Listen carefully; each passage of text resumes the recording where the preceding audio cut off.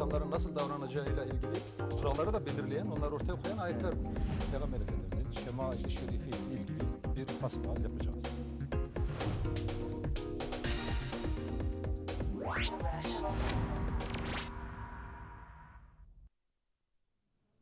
Merhabalar efendim. Yeni yayın döneminin ilk hasbihal programıyla sizlerle beraberiz. Değerli izleyiciler, bu ilk hasbihal programımızda gündemde olan bir konuyu masaya yatıracağız.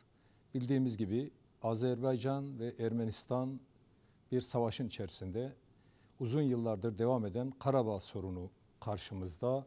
Bu konuları konuşmak üzere Selçuk Üniversitesi Güzel Sanatlar Fakültesi Endüstriyel Tasarım Bölüm Başkanı Profesör Doktor İlham Enveroğlu hocamla beraberiz. Hocam hoş geldiniz. Hoş bulduk. Teşekkür Nasılsınız ederim. hocam? İyisiniz inşallah. Çok şükür hamdolsun.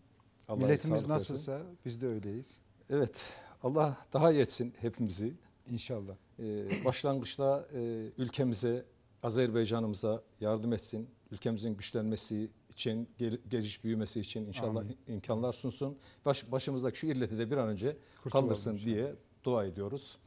Ee, şimdi hocam e, Güzel Sanatlar Fakültesi'nde Endüstriyel Bölüm Başkanlığı yapıyorsunuz ve Evet. Azerbaycan konulu bir programı konuk oluyorsunuz. Eyvallah. Nasıl bir bağlantı var? Ee, onu sizden dinleyelim başlangıçta. Ee, aslında bu büyük e, uzun bir hayat hikayesi ama e, 1995'ten beri Konya Selçuk Üniversitesi'ndeyim. E, hem ressam hem mimarım. Ama doğma büyüme Karabağlıyım. Hı. Yani şu anda savaş giden bütün araziler benim çocukluğumda gezip dolandığım, e, ilk gençlik yıllarımda e, o eşsiz güzelliklerine doyamadığım bir memleketten geliyorum. Hı hı.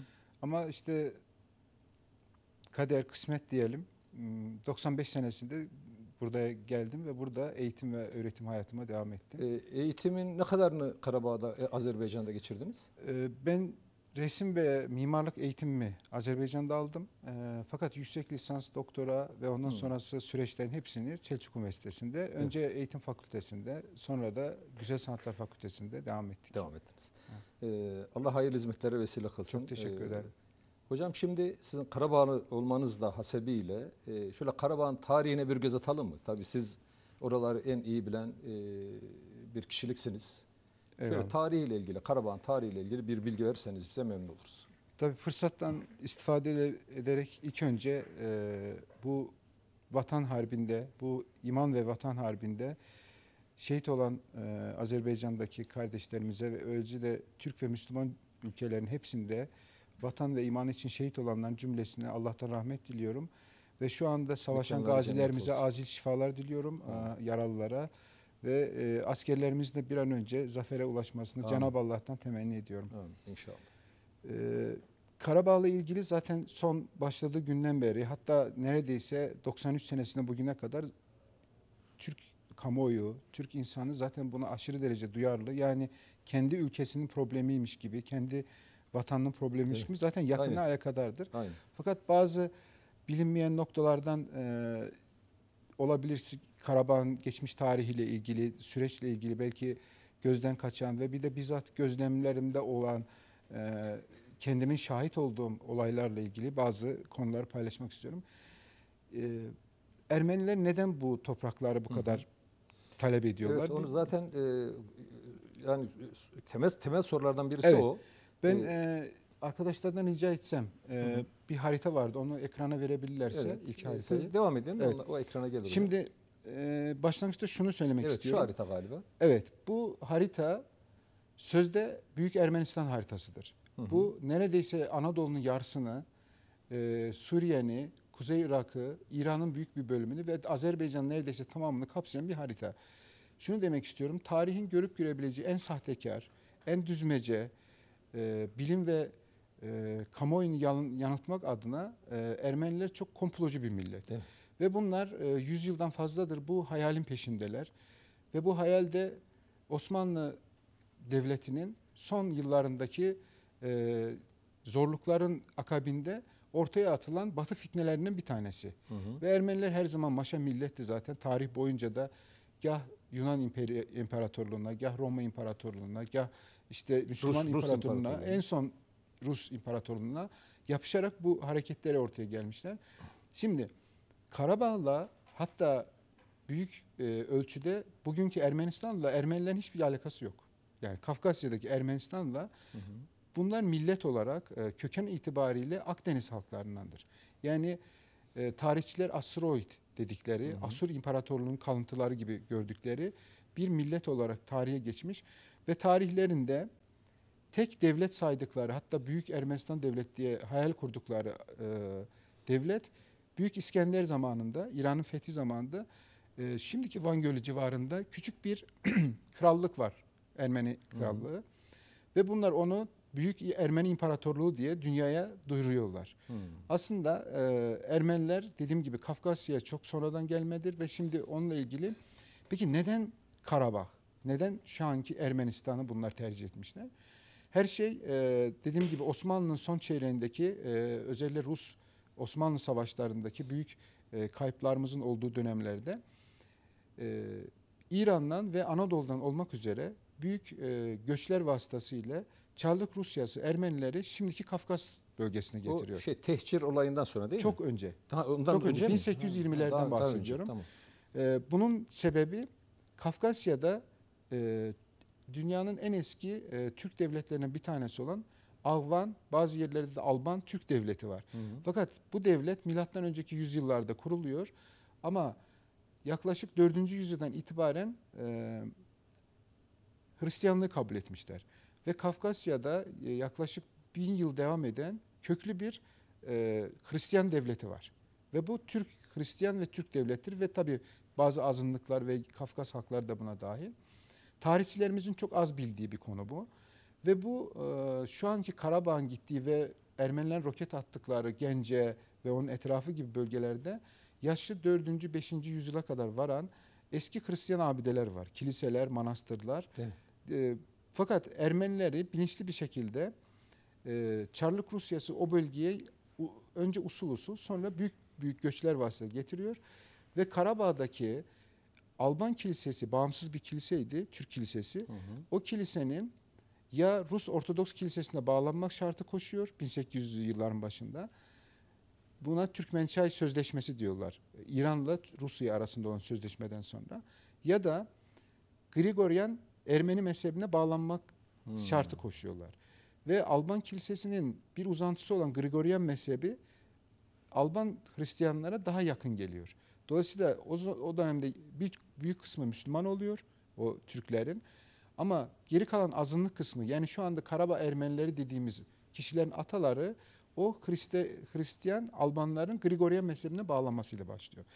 Ve Ermeniler dünya kamuoyuna ve tarihine tarihçileri bununla yanıltıyorlar. Diyorlar ki Türkler Orta Asya'dayken bizim burada anıtlarımız vardı, kiliselerimiz vardı, medrese. Oysa ki e, bu tarihi Sovyetler Birliği bilinçli bir şekilde, kastı bir şekilde Azerbaycan Türklerinden saklamış ve nitekim olaylar patlak verdiği 1988 yılında ilk kez Azerbaycanlı profesör Feride Mehmedova Alban tarihini ortaya koydu ve e, bununla biz oradaki topraklarımızın neden Ermeniler tarafından bu kadar ısrarla, inatla talep edildiğini ortaya koydu. Tabii ki bunun arkasında Rusların emperyal siyaseti var. Türk ve Müslümanların arasına bir fitne ocağı dikmek için yaptılar bunu. Ermeniler zaten öteden beri hain ve e, düzenbaz bir millet. Zaten o Osmanlı'ya karşı kışkırtan da Kesinlikle. Ruslar değil mi? Rus Ermenileri. imperyasının bu bir maşası. Hı hı. Nitekim Osmanlı'nın son çeyreğinde bunlar önce Ruslara ve Fransızlara yaslanarak biliyorsunuz Güneydoğu Anadolu'da ayaklanmalar yaptılar. Ve o dönemde m, Kafkasya'daki e, ve şu anki Ermenistan İrevan Hanlığı olarak geçiyordu ve. Azerbaycan'ın terkibindeydi. Hatta bugün ikinci bir haritayı gösterebilir misiniz zahmet olmasa? Evet hocam.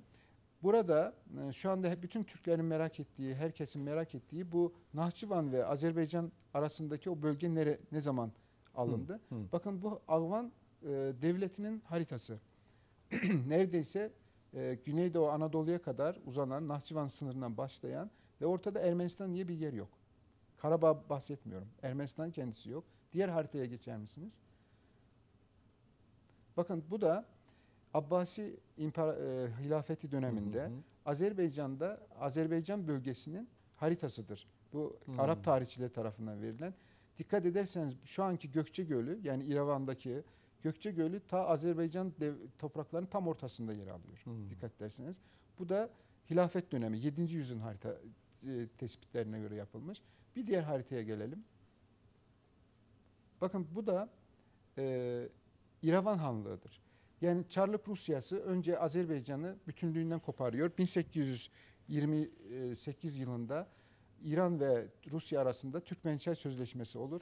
Bu sözleşmeye göre Kuzey Kafkasya'daki bütün Türkler Rusya Çarlık İmparatorluğu'nun e, içine katılıyor ve bu katılım sırasında önce kuzeydeki bütünlüğü bozmak için küçük beylikler oluşuyor. Evet. Karabağ Hanlığı, İrevan Hanlığı, Şeki Hanlığı, Şirvan e, Bakü Hanlığı diye e, yaklaşık 7 tane hanlık, beylik yani bizim tabirle. Ve bu İrevan Hanlığı şu anki Ermenistan'ın neredeyse tamamını ve hatta bir kısmı da e, Kars ve Iğdır'a kadar geliyor. Bu Hocam hanlık. şimdi siz anlattıkça bugünkü küresel devletlerin uyguladığı taktiğin aynısı aklıma Parçala yut. Değil mi? Parçala Aynen. yut Böyle parçala Evet, yut. Kesinlikle Aynı öyle. taktik. Evet. Ve bu İrevan Hanlığı'nın içerisinde önce biliyorsunuz bir Türkler, Müslümanlar merhamet sahibiyiz. Ayrıca ehli kitaba yani Hristiyan ve Yahudi olanlara her zaman bir kardeş gözüyle bakıldığı için e, o merhamet duygumuzla her zaman bunları sığınma vermişiz. Evet. E, kendi topraklarımızı açıyoruz onlara. Onlarla ekmeğimizi, suyumuzu, aşımızı paylaşıyoruz. Hı hı.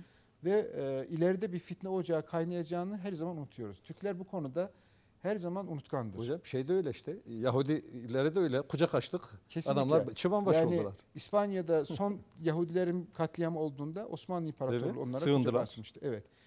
Evet, e, izleyicilerimiz eğer şeylerden hatırlarsa dizilerden Muhteşem Yüzü dizisinde Evet. 4. Murad'ın İrevan Revan Kalesi'nin fethi var. Revan Kalesi şimdiki İrevan'dır. İran.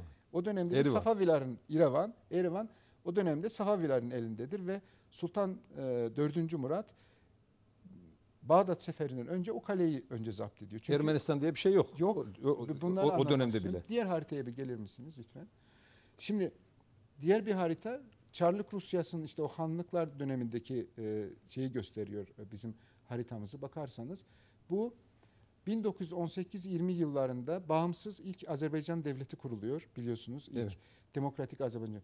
Şimdi buraya bakarsanız devletin sınırları Kars ve Ardahan'a dayanıyor. Nahçıvan ve e, Ermenistan diye bir bölge hala yok. Ama kuzeyde e, Gökçe Gölü'nün bir üzerinde küçük bir e, Ermeni boşluğu var. Evet. Karabağ Cumhuriyeti henüz yok. Buraya da bahsediyorum. Tam Yani bu o, yıllarda o bölge tamamen Azerbaycan toprağı. tamamen Azerbaycan Nahçıvan da dahil. Nahçıvan da dahil buna ve arasındaki bölgede dahil. Arası da buna bölge dahil. de dahil. Evet. Ve tam bu yıllarda Çarlık Rusyası'nın fitnesiyle 1905 ile 18 yılı arasında çete hareketleri başlıyor. Tıpkı şimdiki gibi.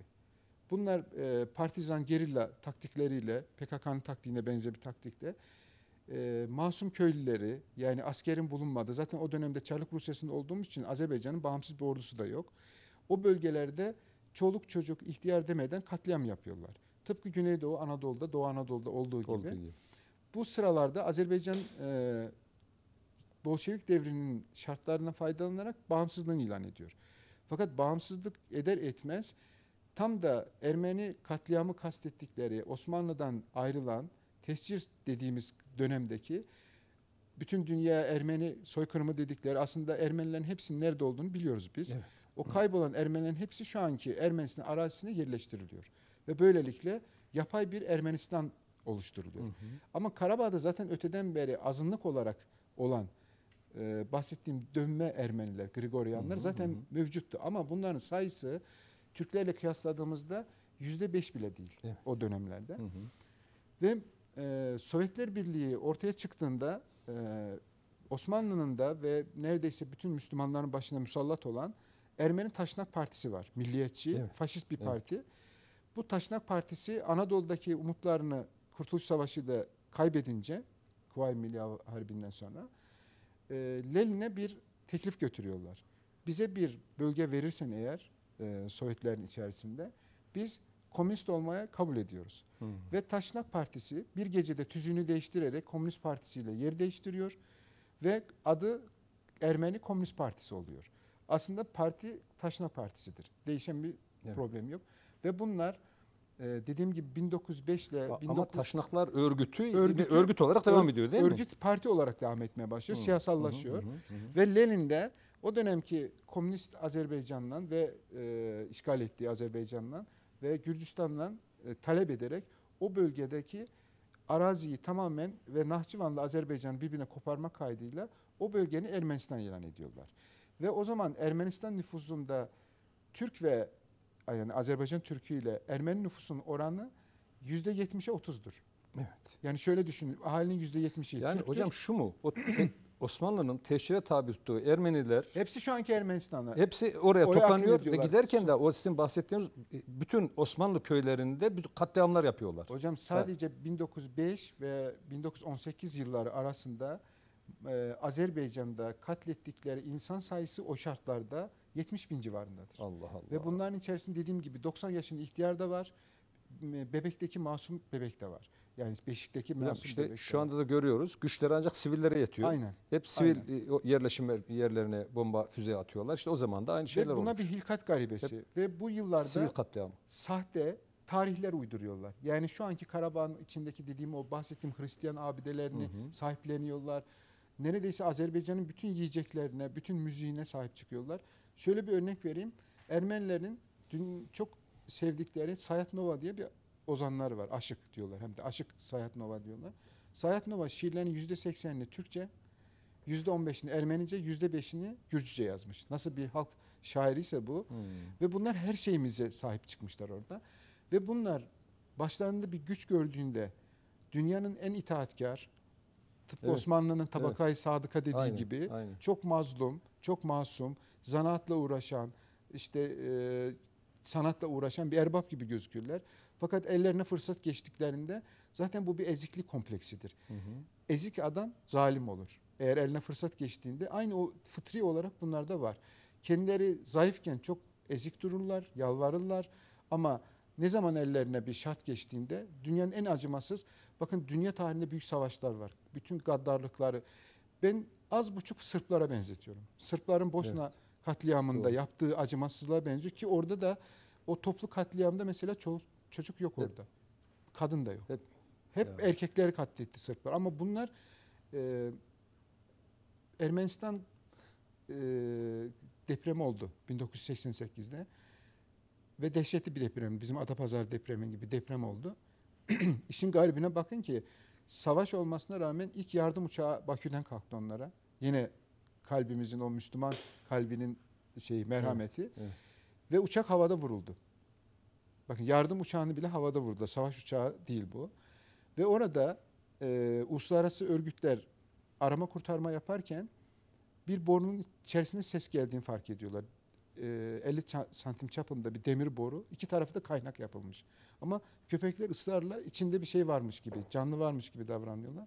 Ve o kaynak kesildiğinde içerisinde 5 yaşla 12 yaş arası 10 tane Azerbaycanlı Türk çocuğu buluyorlar. Allah Ölmek Allah. üzereler. Allah Nefes son Allah. nefeslerini Allah alıyorlar. Allah. Yani şöyle düşünün kurşun sıksanız anlarım. Ama havasız ve nefessiz o çocuklar diri diri borunun içerisine hapsedilmiş. Böyle bir acımasız bir Tam, tam bir zulüm. yani rakibimiz çok mert değil bu anlamda. Evet.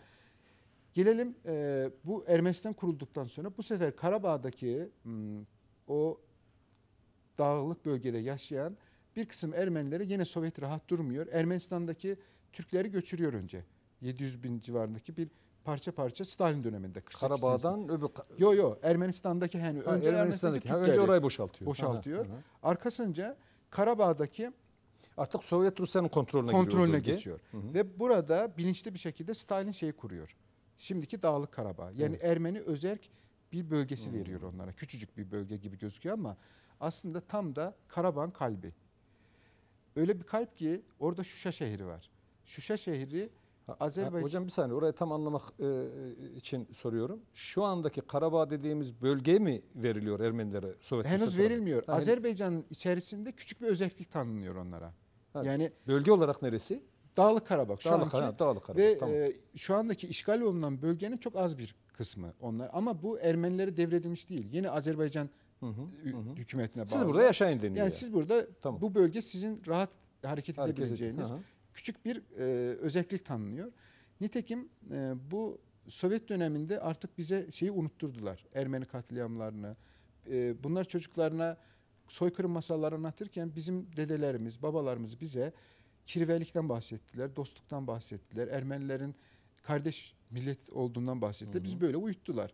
Gel gelelim 1988'de benim de talebe olduğum yıllarda Gorbaçov'un e, bir Amerikan gezisi, Amerika gezisi oldu. Orada canlı yayında bile bütün e, televizyonların gözü karşısında e, Ermenistan lobisi Gorbaçov'a çok pahalı hediyeler takdim etti eşine. Ve o olayın dönüşünde e, Gorbaçov'un sağ kolu ve danışmanı Agambekian Ermeni Hı hı. aslında ekonomik uzmanıdır. Kalktı dedi ki Dağlık Karabağ'ın Azerbaycan içinde kalmasındansa Ermenistan'a bağlanması ekonomik açıdan çok daha faydalı olacaktır diye böyle bir fitne ortaya attı. Allah Allah. Zaten buna hazırlıklılarmış. Belki de yani önceden yaptılar Önceden planlarını ama adım adım işte evet. uyguluyorlar. Evet. Ee, şartlar oluşmadı. Hı hı. Bu sefer dediler ki Sovyetler Birliği yakında herhalde dağılacak. Dağılmadan bu parseli koparalım. Hatta benim talebeliğimde biz e, buna çok karşı çıkan gençlik harekatındaydık. Böyle bir bildiri yaymışlardı. Bakü Ermenileri sabırlı olun. Bizim Lenin yoktan bir Ermenistan yaptığı gibi şimdi bizim Gorbaçov yoktan büyük Ermenistan'ı yapıyor. Hı hı. Yakında Bakü'yü Lübnan'a şey Azerbaycan'ı Lübnan'a, Bakü'yü Beyrut'a dönüştüreceğiz diyor. Yani burada kasıt o zaman çok büyük katliamlar oluyordu Lübnan'da, patlayışlar oluyordu. Yani biz terör estireceğiz diyorlardı. Tabi bu durumda daha bizim o zamanki başımızdaki Rus yanlısı e, siyasiler, devlet adamların basiretsizliği de burada söz konusu. Hı, tabii. Onlar ısrarla e, hala barış türküsü çığırırken Karabağ'da askerler silahlanıyordu ve yeri Ermenilerin bir kısmı bizim devlete şu şikayetlerle geldiler. Bizim ormanlara tuhaf sakallı Suriye'den ve Lübnan'dan gelen değişik Ermeni çeteler geliyor. Ve bunlar bizi zorla silahlandırmaya çalışıyor diye şikayetlerde bulundular. Hı. Ama yine dönemin basiretsiz e, liderleri bunu kale almadılar o zamanki şartlarda Sovyet yanlısı. Ve neticede Karabağ'da daha Sovyetler Birliği dağılmadan Rus barış gücü ortaya girdi. Çünkü Sovyetler Birliği'nin arazisi sonuçta bura. Ve tıpkı NATO'nun güçleri Sırplarla Boşnaklar arasında girerken yine katliam devam etmesini hatırlarsanız Tabii, herhalde. tabii. Buna benzer bir süreç. Ruslar dediler ki silahlanmaya ve silahlı ateşkes şeye karşıyız ve her iki taraftan silahı toparlıyoruz dediler. Neticede bütün Azerbaycan Karabağ'daki Azerbaycan köylerinden av tüfekleri bile toplatıldı. Aynen Bosna'da yapılan. Aynı Bosna'da yapılan hi- hile. Fakat karşı tarafa uçak savarlar verildi. Yani düşünün uçak vuran e, Evet, s- evet. uçak savarlar verildi ve böylesine bir güç dengesizliği oluştu. Ortada dışarıda iyi eğitilmiş, e, gerilla taktikleri görmüş bir e, gerilla şey var, ordusu var Hı hı. ve Rus ordusunda iki tümeni kesinlikle onların yanındaydı. Belli yani bu ortada. Ve ben o bölgede yaşıyordum. Yani şöyle düşünün bu olaylar olmadan önce Dağlık Karabağ'da e, şu anki Han kendinde Kaç yaşlarındaydın hocam? ben e, bu hadiseler başladığında 18 yaşındaydım. Evet, çok iyi hatırlarsınız. Tabii zaman. tabii. Ama e, işin garibi babam e, üniversite hocasıydı ve şu anki Han kendinde Türkçe, Ermenice ve Rusça eğitim veren bir üniversite vardı. Hı hı. Üç dilde. bu üniversitenin babam dekanıydı işte Edebiyat Fakültesinin. E, tanınmış şairdir Enver Ahmet babam. Ve biz hiç böyle bir şey ummuyorduk. Beklenmedik bir e, şey e, tehlike gibi Hı hı. oldu bu. Bizim e, o zaman babam hem Bakü'ye gidip geliyordu e, şeylerinde. Bizim evi dağıttılar orada. Bizim Hı. şu anki Han kendinde evimiz vardı. Evi ateşe verip içindekileri darmadağın ettiler. Ve tüm evlere mi böyle baskınlar yaptılar? Türk evlerine. E, 88 senesinde oldu bu hadise. Hı. Ve bunun akabinde önce devlete yüz tuttu bizim halkımız. Ya bu e, Karabağ'daki bu meseleni çözün ya da biz çözeceğiz diye başladık. Ben çok iyi hatırlıyorum 1988 senesinde 500 binden fazla Azerbaycan Türk'ü silahsız, eli yalın şimdiki Ermenistan e, Karabağ'ın başkentine doğru yürüyüş yaptık. Ben de vardım o yürüyüşüne. Fakat önümüzü Rus tankları kesti. Savaşa gitmiyoruz ama onlara bir gövde gösterisi yaptık. Yani biz 500 bin bütün köyler ya anlamsız bir e, meselenin içindeyiz. Fakat Yani Ruslar o, o şey protesto için mi? Evet, Ev- protesto için gidiyoruz. Daha protesto için. aktif Hı hı. savaş başlamamış ama bunlar ne yapıyorlar? Mesela benim babamın helikopterinle gidip geliyordu o zaman. Yolları kapattılar önce. Hı hı. Çe- barikatlar kurup masum köylüler pazara, çarşıya giden insanların otobüslerini taş attılar. Daha sonra lastiklerini ateş ettiler. Kaç tanesine ateşe verdiler.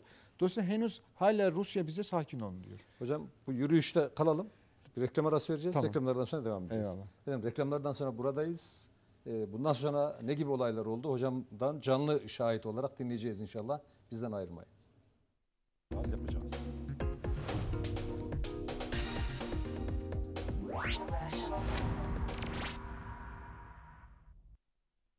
Evet tekrar merhabalar efendim. Profesör Doktor İlham Evrenoğlu hocamla e, Enver. Enveroğlu En- değil mi Enveroğlu, hocam? evet. Enveroğlu tamam yanlış yapmayalım. İlham Enveroğlu hocamla Azerbaycan meselesini konuşmaya devam ediyoruz. Eyvallah. Hocam e, o protesto maksadıyla ev, Evet. ev basıp bir yürüyüşe geçtiniz. Yürüyüşe 500 bin geçtik. kişiyle orada Evet. kaldık. Evet buyurun. Ve şu andaki e, savaş bölgelerinin tamamından gençler, orta yaşlılar yani yürüyüş Yani şu anda siz de o yürüyüşte Evet, canlı o- olarak bulunduğunuz için Evet, evet. canlı bir şekilde dinliyoruz. yani biz en azından bizi görsünler çünkü bizim Hı hı. e, tarihten beri bildiğimiz Ermeni korkak bir millet. Yani bizi en azından hatta böyle bir Azerbaycan Türk atasözü var. Bir Türk yedi Ermeniyi yalnız görmüş diye bir atasözü var. Bu kadar Hmm. hiç ikale almazdık biz onlar bu anlamda. Fakat e, biz oraya yürüyüşe giderken şimdiki Hoca yürüyüş nereden başladı nereye kadar yürüdünüz? bu e, Ağdam Ağcebede'den başladı yürüyüş. o Karabağ bölgesinin içinde değil mi? Evet içinde. Hı. Zaten benim doğduğum yerde Ağcebede o bölge. Hı hı. Oradan insanlar topar ama Azerbaycan her yerinden gençler geldi. Yani en- Toparlandılar. toparlandılar. Tabii 500 bin Ve kişi. bu 500 bine yakın hatta daha fazla o zaman milyonlardan bahsediyorduk ama Hmm. 500 bin rahat vardı. Ve herkes e, o bölgede bir Ermeni bir bakalım ne istiyorlar bize ne diyecekler diye. Nereye doğru yürüdünüz? Şimdiki e, Hocalı katliamının olduğu köye kadar gittik. O köye Eskeran kadar. Hı hı. dedikleri bölge var. Daha Hocalı katliamı olmadan, önce Olmadan değil mi? çok önce bu e, Hocalı katliamına 5 yıl önce. Hı, benim bahsettiğim. 88 doğru 92 evet. Henüz dediğim gibi çeteler var. Böyle bir tank, top, tüfek savaşı yok.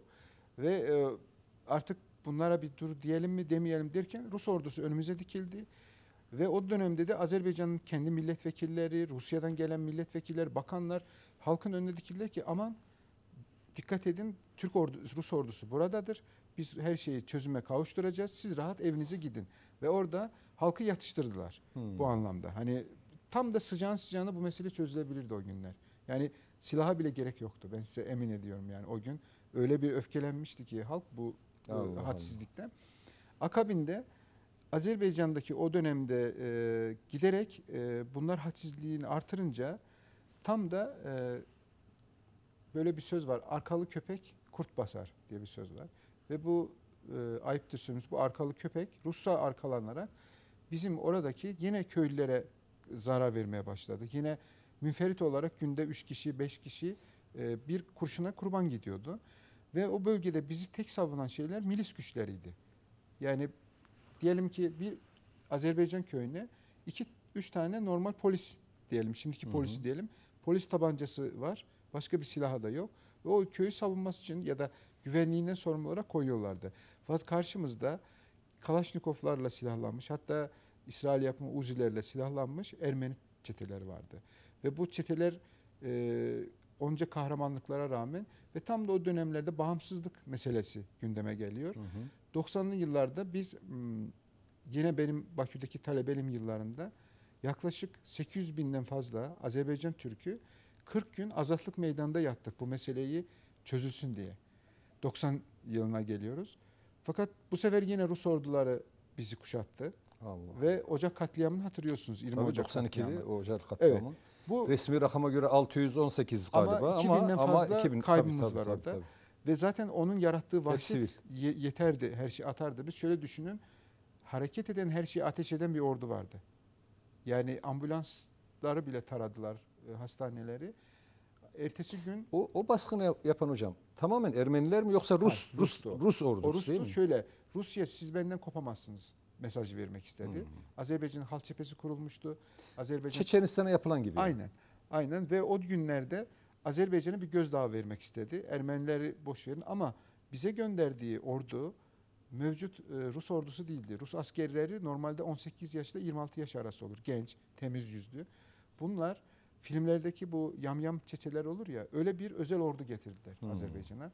Denizden kuşattılar, havadan kuşattılar ve e, bir gecede e, öyle bir korkunç bir dehşet yaşattılar ki Azerbaycan'a. Yani siz Ama bu da Azerbaycan'da ters tepti. Türkiye zor gösteremezsiniz.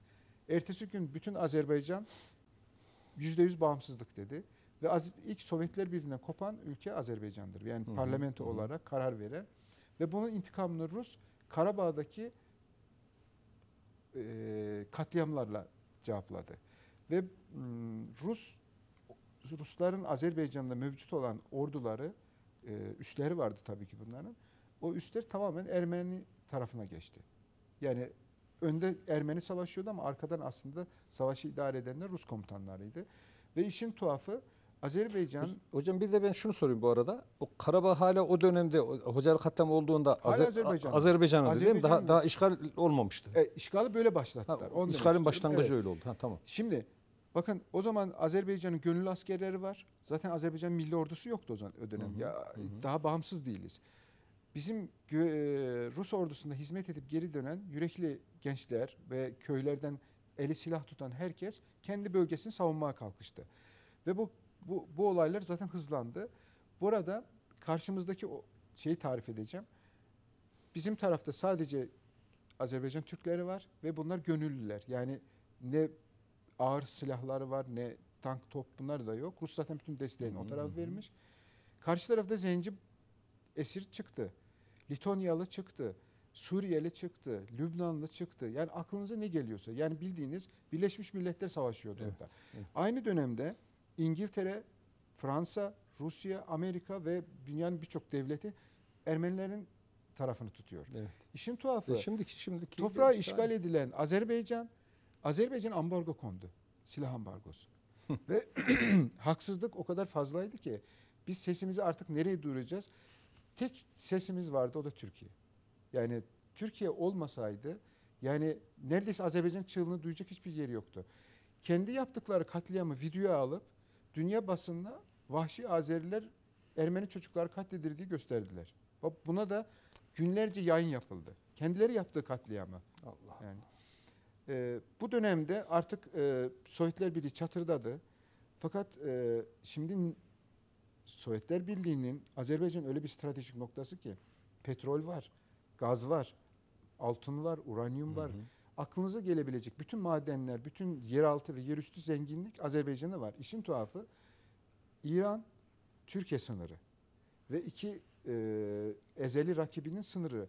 Buranın bağımsız, yüzde yüz bağımsız olabilmesi Rus devletinin kesinlikle işine gelmiyor. Evet. Ve dolayısıyla oraya bir kanca taktı. Dağlık Karabağ'ı bir e, nasıl desem bir e, zincir gibi zincirledi orayı. Biz ne zaman ileri gitsek e, Ermeni biraz daha öne sürdü. Nitekim Hocalı katliamını e, birlikte yaptılar. Hocalı katliamında siz oradaydınız değil mi? 93 senesinde ben e, o, o gece Bakü'deydim talebe olduğumdan Hı hı, dolayı ama e, benim bütün ailem zaten o bölgede yaşıyor. O katliam da tıpkı 20 Ocak'ta Bakü'de yaptıkları gibi bir misillemeydi. Halkın direncini kırmak. Hı hı. O gün kıran kırana savaşıyordu Azerbaycan gönüllü bile olsa. Tabii. Yani nizami ordu olmasa bile e, oransız güç vardı. Yani dediğim gibi biz Ermenistan'la savaşmıyorduk. Yedi düvelle savaşıyorduk aslında. Ve bu uzun süre e, şöyle yanlış da anlaşılıyordu. Ya 8 milyonluk Azerbaycan işte toplam 2 milyonluk Ermenistan'a nasıl... Biz Ermenistan'la savaşmıyoruz. Bunu Evet. PKK olayından, PYD olayından anlayabiliriz. Yani Doğru. 100 yıllık bir devlet tabii. e, mi? birkaç 40, 40, yıldır, 40 süren yıldır akından gelemiyor. akından gelemiyor. Mesele bunda. Arkasında küresel güçler. Evet. Bu tam bu dönemde işte e, artık o hocalı katliamıyla bir nevi e, Azerbaycan Türklerine bir gözdağı verilmiş oldu. Arka arkaya da tam da o dönemde Azerbaycan'da e, siyasi çekişmeler var. Yani bir taraftan Halk Cephesi ordusu var, milli örgüt ve e, Rus'un ileriye sürdüğü e, kişilikler var. İşte İran'ın öne sürmek istediği, Avrupa'nın öne sürdüğü. Böyle bir karmaşada Ermeniler o bölgeleri kesin hızlı bir şekilde ve birçoğu da ihanetle olduğunu söyleyebilirim. Yani o bölgede. Hocam Karabağ'ın o işgali önce şeyle mi oldu? Yani o iş, e, zulümle, katliamlarla sivil halkı işte yerinden Parça uzak, parça. uzaklaştırarak, evet. yani boşaltarak şöyle o bölgeyi ö- öyle mi oldu? Evet. Yani Yani e, insansızlaştırmakla başlıyordu. hı hı. Çünkü e, bizim insanımız bir yere kaçmıyordu. Gitmiyorlardı. Yani hala şu anda Terter diye bir bölgemiz var o sınır bölgesinde. Günde ortalama 100 tane roket düşüyor oraya. Ama bir tane Azerbaycan köylüsü orayı terk etmiyor. Evet. Yani böyle bir durum var. Neyi bahsedeceğim? Bu Ermenilerin ne kadar böyle insafsız Hı hı. bir savaştığını ben demin bahsettim. Bizim orada evimiz vardı. Ee, ve bir tatil vesileyle yani e, Nevruz Bayramı tatil Hangi bölgedeydi eviniz? Şu anki Han kendinde. Han Kent. Kağıl Karaman başkentinde. Ve bizim bir Ermeni komşumuz vardı bayan. Yaşlı bir teyzeydi. Babu deniyordu ona. Kadıncağız e, 70-80 yaşlarında ve e, kendi hizmetini göremeyecek gibi. Biz evimizde pişen her yemekten ona bir kap götürürdük çocukluğumdan beri. E, onun bir isteği olsa babam çarşıdan ya da biz alıp getirirdik. Hı hı. Ve e, kendi nenemiz olsa bu kadar kadına iyi davranılır. Böyle düşünün. Ve babam tatilden geri döndüğünde evin her tarafın darma duman edildiğini görünce eşyalarımız yağmalanmış, evdeki Allah Allah. e, ne kadar e, birikmiş ne eşya her şeyi el koymuşlar ve evi yakmışlar. Ve e, bizim e, gardırobun üzerine Ermeni harfleriyle Artsak yazmışlardı. Yani Hmm. Karabağ'ın Ermenice ismi sözde. Ve babam sadece komşuya demiş ki babu sen bu evin bizim olduğunu biliyordun. Neden e, şu çetelere dur demedin? Bu daha bu savaşın öncesinde Hı hı, olan olay hı. diyorum. O sürekli yardım yaptığımız, sürekli yemek yedirdiğimiz teyze ona demiş ki burada olsan çocuklarla beraber seni de gebertirdilerdi demişti. Allah. Ve bu yaşadığımız travmaydı. Yani anlayamadık. Yani biz bu kadar e, hiç mi bu kadar iyiliğin hani bizde bir kahven kırığı hatırı var ama Hocam e, yapılan uygulama hep aynı. hep aynı. Hep ben aynı. ben e, Bosna'ya gittim birkaç kez. 2-3 sefer gittim. Orada anlatılanlarla sizin anlattıklarınız birebir aynı. Aynı işte Sırp komşularla maalesef. Evet, Maalesef. çok e, büyük yardımlaşarak böyle yakın ilişkiler kurarak e, yapı- komşuluk yapıyorlar. Ama o savaş başladığı anda en büyük kötülüğü de onlardan görüyorlar. Bir başka örnek vereyim. Ben Bakü'de Mimarlık Fakültesi'nde okuduğum zamandı tam 20 Ocak katliamı olmadan önceki gün, günler diyeyim. Bu olayı iyice uluslararası arenaya yüksek taşımak için Rus KGB ajanları Bakü'de bir provokasyon türettiler. Bakü'de yaklaşık e, 50 bin civarında Ermeni yaşıyordu. Bakü şehrinde Hı hı. yani. Ve bir anda sanki Toplam nüfus ne kadar? Azerbaycan o Yok, zaman Bakü'nün Bakü'nün, nüfusu Bakü'nün. e, bir buçuk milyon Hı hı. e, o zaman. Bir buçuk milyon da 50 bin. Evet, 50. 50, e, 60. O tamam o Bakü zaten e, çok milletli bir şehirdi o dö- dönemde Ruslardan dolayı. Ve e, Bakü'de bu olaylara bir sebep üretmek için KGB ajanları yeri halkında bu özellikle Karabağ'da canı yanmış, akrabası öldürülmüş, Ermenistan'da e, topraklarından azat edilmiş insanları da önüne katarak Bakü'deki Ermenileri kovma e, harekatı gibi bir şey başlattılar. Ama bunu o dönemin bütün bizim e, liderlerimiz dedi ki bu bizim işimiz değil dedi. Bu bizim politikamız değil. Biz sivillerle katiyen işimiz yok. Bu masum insanlarla bizim bir derdimiz yok. Ama bu e, sonradan onlar bilindi. KGB ajanları olduğu. Hmm, Şöyle düşünün. e, sen Ermeni misin? Çık bu evden. Biz bu eve işte şey geleceğiz Hmm. gibi şeyler yaşandığında o gün şöyle düşünün. e, bu provokasyona o alet olup da birkaç genç eğer bir 100 tane Ermeniye dayak atıldıysa en az 3000 4000 Ermeni kendi evinin yatak odasında, banyosunda saklayan Azerbaycan Türk'ü vardı. Bakın Karabağ'da bunlar olurken Bakü'deki Azerbaycanlı Türkler komşusu Ermeni'yi evinde koruyordu. Allah Çünkü bunlar masum diyordu. Bunların bir de bir suç yok. Bunlarla biz 30-40 yıldır beraber yaşıyoruz gibi. Ya bu bizim Müslümanın kalbinin merhameti Ya. hiçbir zaman Evet. ben eminim bak şu anda Karabağ Savaşı bitsin. 5 yıla kalmaz yine o dostlukları devam ettirecekler. Aynen. Yani inanıyorum Doğru, ben. doğru, Çünkü doğru. böyle gördüm ben. Yine, yine diyorum Ermeniler ilkokul kitaplarına Ermeni katliamı diye, Türk katliamı diye şey yazdıklarında, kitaplar okuturken bizim büyüklerimiz bize hiç Ermeni nefreti aşılamadı. E, hocam biz biz işte e, inanç, millet olmanın- inanç işte yani biz onların yaptığı zulmü Evet. yapamıyoruz. Yapamıyoruz yani işte. yapamıyoruz. Büyük millet olmanın bir Evet. şeyi bu. Evet. Biz babadır yani. Bu baba Evet, gibi doğru. bir kucaklıyoruz. Ee, ve şunu e, olaylar işte bu Hocalı katliamının artık çığırından çıktı. Ee, Azerbaycan'ın bağımsızlığına bir e, nasıl desem misilleme yapıldı. Yani Hı hı, o topraklar e, Rusların elinden çıkmasıyla böyle bir misilleme yapıldı. Ama işin asıl hedefinde orası stratejik bir bölge. Kafkasya'nın can açılan kapı ve en garibi de sonradan anlaşıldı ki bunlar hepsi Bakü petrolünün ve gazının yeniden uluslararası anlaşmaya açılmasında Rus'un elinden çıkacaktı. Çünkü Bakü petrolünün %93'ü Ermeni Rusların elindeydi. Evet. Ama bu şimdi yeni bir petrol anlaşması ve e, rahmetli Cumhurbaşkanımız Haydar Aliyev Rus'a rağmen bunu e, uy- e, bir şekilde uluslararası arenaya taşıyabildi. Hocam bir ara daha vermemiz lazım. Eyvallah. Ee, yine kaldığımız yerden devam edeceğiz. Efendim reklamlardan sonra buradayız. Yine bizden ayrılmayın. Son bölümde beraber olmak dileğiyle. ilgili kuralları da belirleyen, onları ortaya koyan ayetler bunlar. Peygamber Efendimizin şemail-i şerifi ilgili bir hasbihal yapacağız.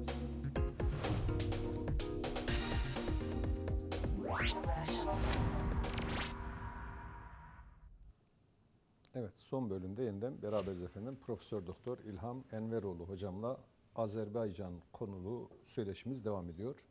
Hocam şimdi Karadağ'ın nasıl boşaldığını boşaltıldığını anlat, 94 anlattınız, dinledik. senesine 94. kadar hı. adım adım adım adım ve birçoğu da hile, birçoğu da fitneyle o bölge boşalttı. Çünkü Azerbaycan e, gafil avlanmıştı, bağımsız ordusu yoktu ve e, toparlanması için bir zamana ihtiyaç vardı.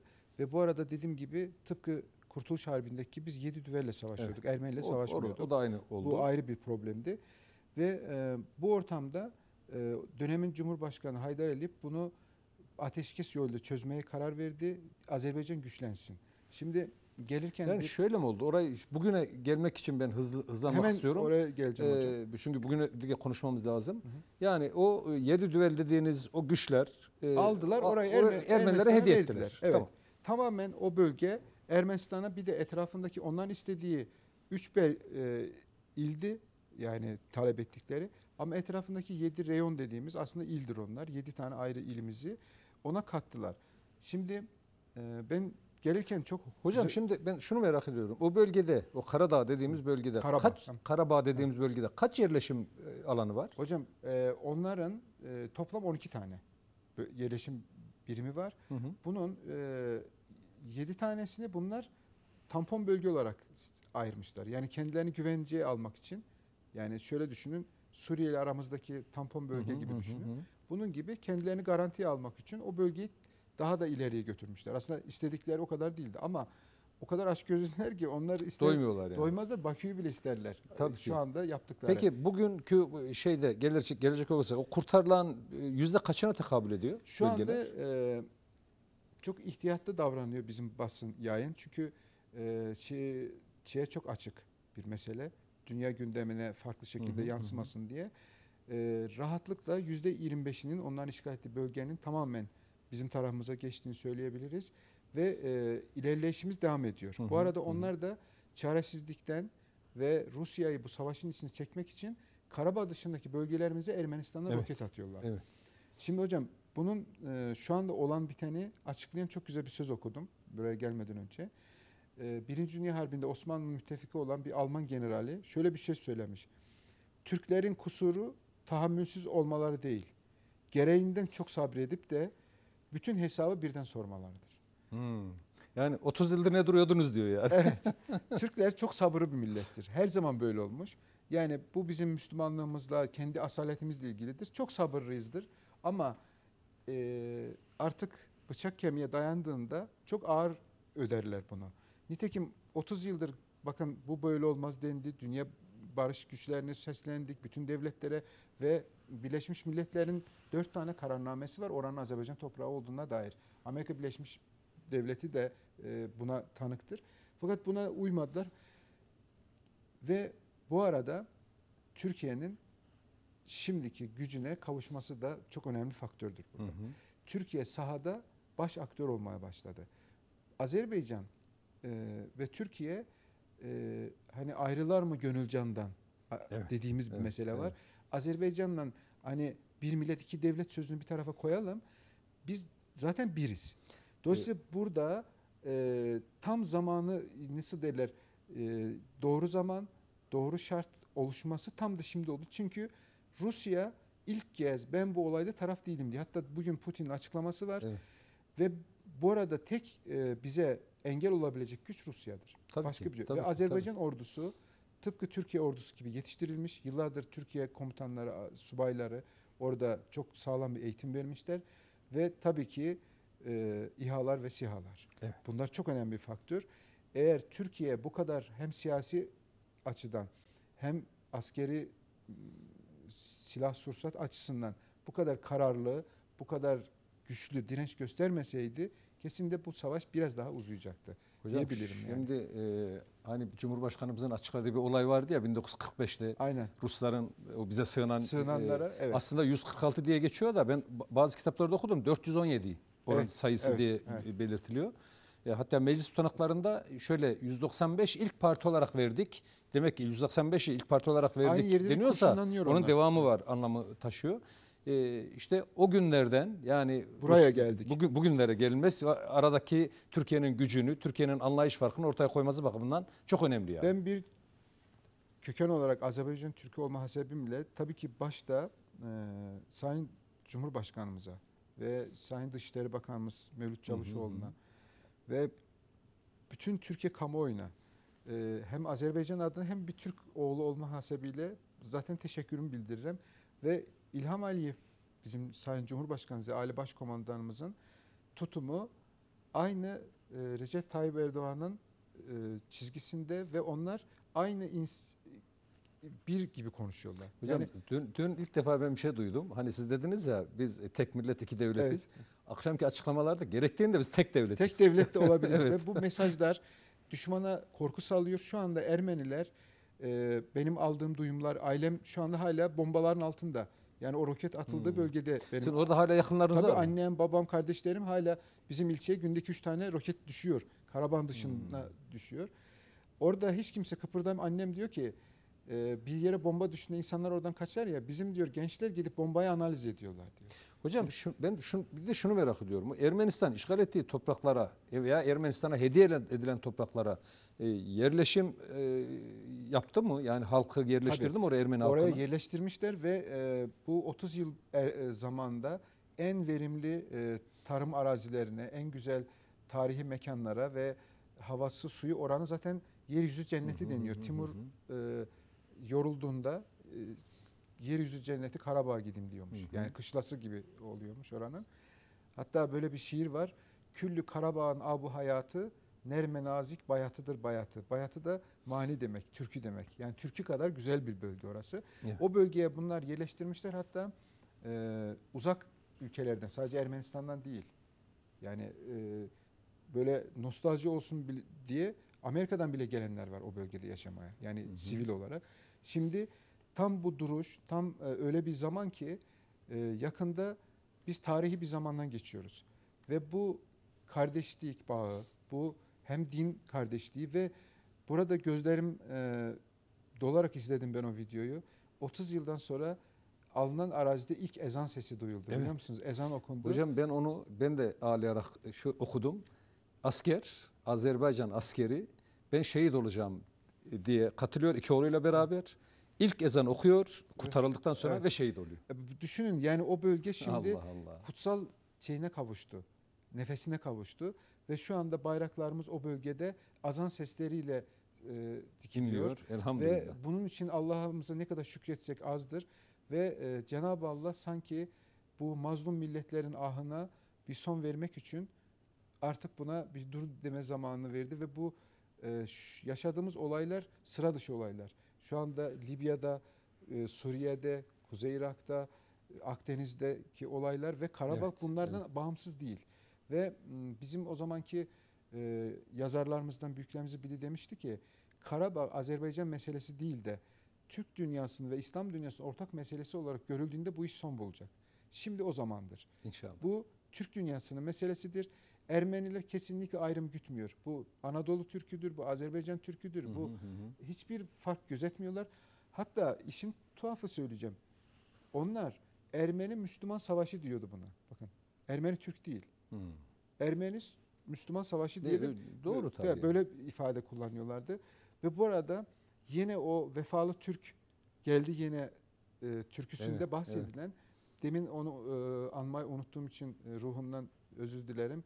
Sayın Nuri Paşa'yı unutamayız. Evet. Kafkas İslam Ordusu Kafkas İslam Ordusu. 1918'de de yine Bakü'ye kadar gelip Azerbaycan'daki Ermeni katliamlarına nasıl son koyduysa bugün Türk kardeşlerimizin e, O zaman hem Osmanlı'nın yaptığını bugün Türkiye aynen yapıyor yani. e, Türkiye aynı o misyonu bir daha da büyük bir çapta gösteriyor ve bugün e, artık böyle e, bizim Sayın Cumhurbaşkanı da defalarca e, bahsettiği gibi büyük bir ülkenin biz e, garantörlüğündeyiz. Bunu hissettirdiler ve bunun için büyük devletler şu anda sadece demeç vermekle kaldılar. Evet. Eğer bundan 15-20 yıl önce olmuş olsaydı demeçle kalmayacaktı Yok bu hocam iş. şimdi her tarafta siz, siz de vurguladınız ya işte Doğu e, Akdeniz'de efendim Azerbaycan'da her tarafta bizim gücümüzü test ediyorlar. Test ediyorlar adeta. ama bence e, ama gereken cevabı da alıyorlar. gereken cevabı da alıyorlar ve deminki Alman komutanı sözü tekrar ediyorum. Türklerin diyor e, aslında diyor sabırsız değiller diyor. Fakat gereğinden fazla sabrediyorlar. Fakat sabırları taştığında da toptan hesap soruyorlar. Bir de Evet. e, Ben demin dedim ya 1945'te olan o e, acı olay e, işte te- te- teslim ettiğimiz Evet. Azeriler ve karşımızda kurşuna dizilen Azerilerin o acı bıraktığı bir ağıt var. E, isterseniz o ağıtla e, bitirelim programımızı. Olur. Bir de O günden bugüne gelme, müsaade ederseniz tek- gelmek açısından çok önemli. Bir yani. anekdot Evet, daha buyurun. hatırlatmak istiyorum. Bu- sürekli e, oradakilerle tabii e, takip ediyoruz. Çok güzel bir fotoğraf Hı hı, paylaşıldı. hı hı. Hocalı'dan kucakta e, kurtarılan çocuklar bugün tank üzerinde Hocalı'yı kurtarıyor. Yani o gün Güzel.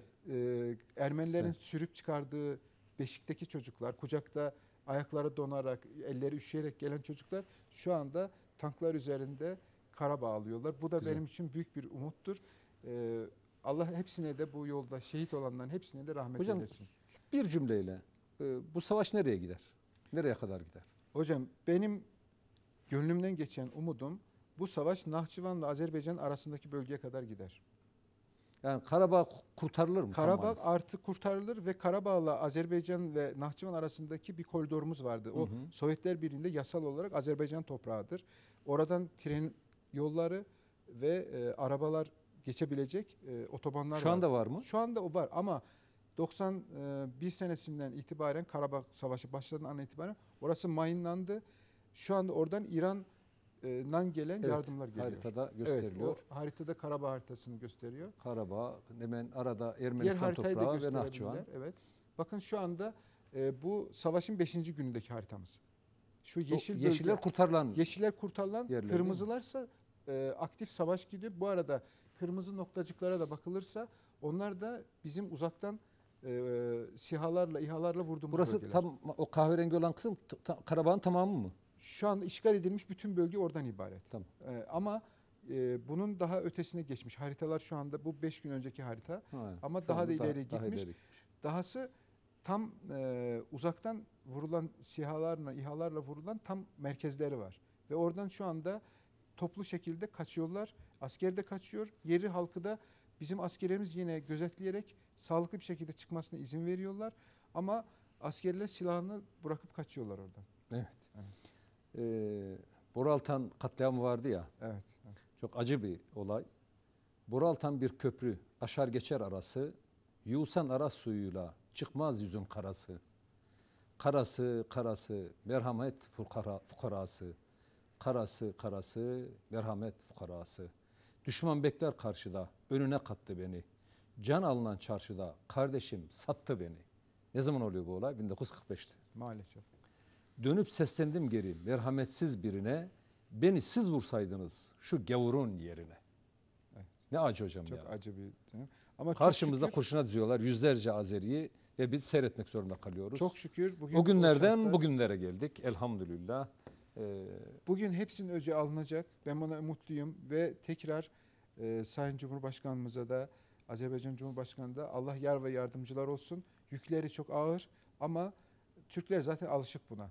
Bu yük taşımaya, bu insanlığın yükünü taşımaya Evet. ve bu bir iman ve vatan davasıdır. Bunu da Allah hepsini güzel bir cüm- kılsın. şey oldu hocam. Bitiş cümlesi oldu. Bu iman ve vatan, Vatan davasıdır, e, davasıdır hakikaten. Evet, iman ve vatan kesinlikle. davası. Bu dava inşallah zaferle, Zaferle neticelenir diye dua edelim. E. Cenab-ı Hak hem Türkiye'mize hem Azerbaycan'ımıza zaferler nasip etsin. Amin, amin. Evet değerli izleyiciler bu ilk hasbihal programı burada sona ermiş oldu. Ee, Bundan sonra inşallah her çarşamba saat 18'de karşınızda olacağız. Hoşça kalınız. Allah'a emanet olunuz. Kontel ekranlarından hepinizi hürmetle, muhabbetle selamlıyorum. Ee, İşte insanların nasıl davranacağıyla ilgili kuralları da belirleyen, onları ortaya koyan ayetler bunlar. Peygamber Efendimizin şemail-i şerifi ile ilgili bir hasbihal yapacağız. Rational